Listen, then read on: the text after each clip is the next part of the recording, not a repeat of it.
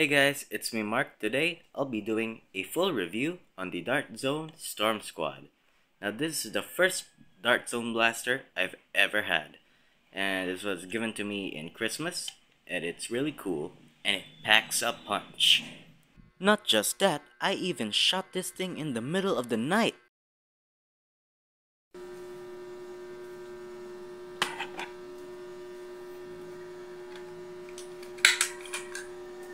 This is middle this is in the middle of the night. But it's still silent.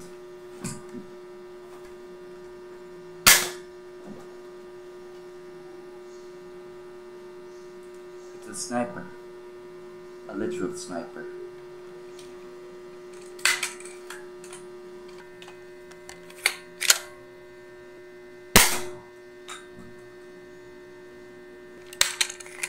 Gonna hit that sleeve over there. There we go. So yeah, with that all the way, let's talk about the design of this blaster. So it's a pistol-like blaster, and it has some cool decals on it. Um, not really decals, but some dented textures on it, and it's really cool. On the front, here we have a oblong barrel, but when I press trigger, it centers the cylinder, so it could fire a dart. And uh, behind this barrel here, the small muzzle-like barrel, is like um, this this piece here. It some sort of acts like a hop-up, and uh, uh, behind it is the four-dart cylinder.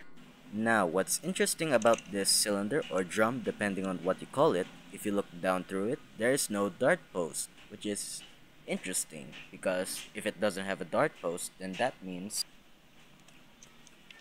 it could fire half-length darts, which is very interesting. So, uh, with that all the way, we move on on the top of the blaster. On the top front of the blaster, we have a front sight, nothing special. Then, behind that, here we have the priming handle. Now, on the top of the priming handle is a scope. Now, this scope is not removable nor adjustable. Uh, it's just a fix-and-place scope. Inside of it is uh, no clear plastic, just some thin crosshairs. Now, if we go to the full back of the blaster, here we would find this piece right here. Now that is actually a priming rod, or a part of it. And it acts like a priming indicator. It just indicates when you're already primed or not. Now below from the below from the priming handle, here we have the handle itself, or the grip. The grip is fairly comfortable for uh, for small hands, I guess, but it could fit a large hand too, based on some other reviews. And uh, it does have some textures in it. Uh, now we go to the trigger. Now, this trigger has something interesting in it. So once you press the trigger, the barrel rotates. Now this is actually a great feature, especially in reloading, which it truly shines. Here, let me demonstrate. So folks, uh, there's something I forgot to mention about this uh, muzzle piece here. Uh, there's this slot here so you can reload the darts. And yes, I'm going to show you on why this feature is very useful. Especially in reloading. So I'll show you now. And because of this feature, you don't have to like uh, rotate this one at a time. All you, all you got, all you gotta do is just press trigger, just put one dart. And uh, sometimes it does that. It sometimes jams up a bit. Although it's from my blaster, um, I don't see it mostly often in some other reviews on this blaster. But so yeah, but fairly it works well. Sometimes it just does that, like I said. So for the for the target, I've actually thrown away my target because it's beginning to because it's beginning to pile up all over the place. So instead, I'll be showing you my new target. And I'm not sure if you can see it, folks, but this leaf right here will be my target. It's small, but I've managed to use this as a target many times already. Only with that uh, Storm Squad mostly, and also the Action Kickback. In the package, uh, this thing comes with uh, four waffle tip darts, which is the first uh, special darts I've ever had. Because it's from Dart. So. Anyways, start. Uh, firing test. Let's go. Uh, distance myself away. So that was a miss. Uh, my electric fan is not on, by the way.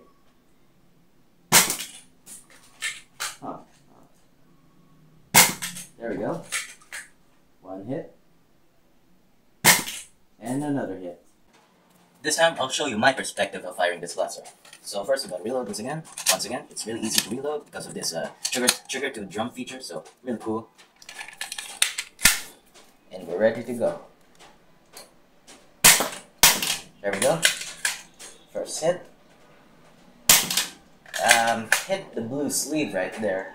So I don't, so it doesn't count as a hit, but yeah, I mean, it hits.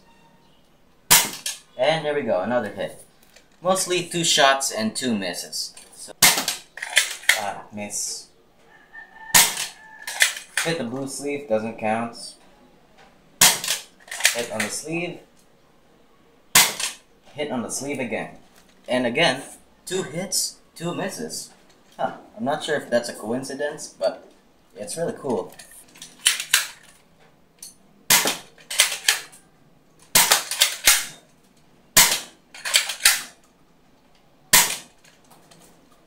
This time, folks, we're doing it faster. Although, when doing it faster, I usually tend to have a hard time priming this blaster because of my small hands, so instead I do it like a gangster mode by doing it like that. Anyways, firing.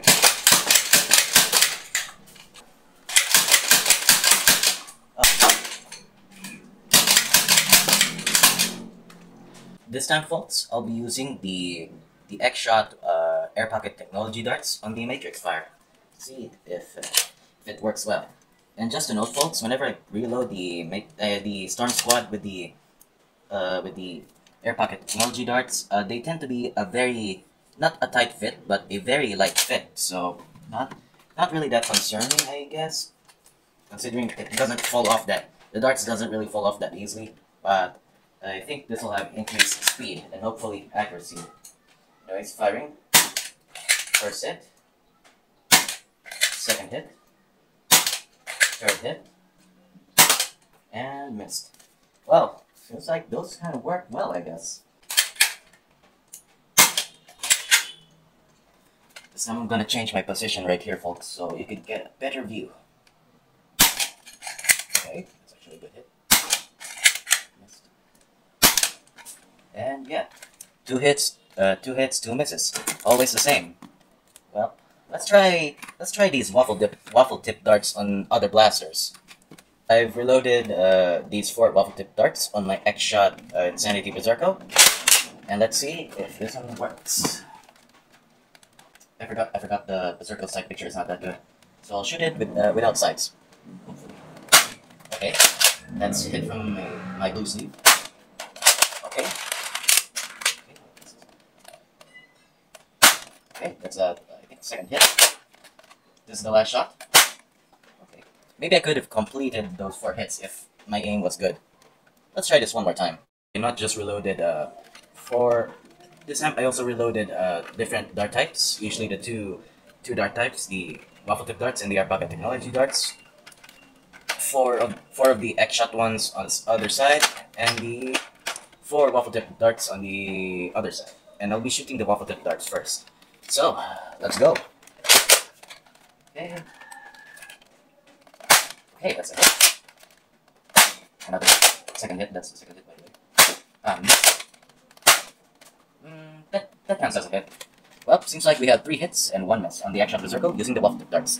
Now let's go with the the air pocket technology darts.